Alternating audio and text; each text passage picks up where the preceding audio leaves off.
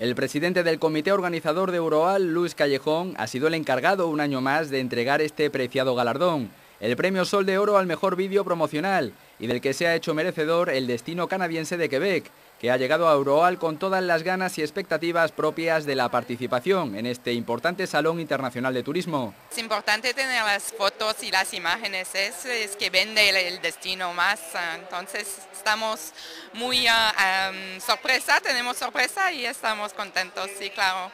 No ha sido el único punto del día. La Sala Mijas del Palacio de Congresos acogía la última jornada del curso que la Universidad Internacional de Andalucía ha organizado sobre turismo y redes sociales y que ha concitado el encuentro de numerosos profesionales que no han perdido la ocasión de conocer más de la importancia de las nuevas tecnologías unidas al turismo. No hay duda del éxito de esta séptima edición de Euroal que ha experimentado alrededor de 12.000 visitas, incrementando las del año pasado y más de 2.000 contactos comerciales. Además, por primera vez, el conjunto de las administraciones públicas, con el Ayuntamiento de Torremolinos al frente como municipio anfitrión, se han situado en posiciones de respaldo a Euroal, el encuentro bajo el paraguas del turismo de nada menos que cuatro continentes.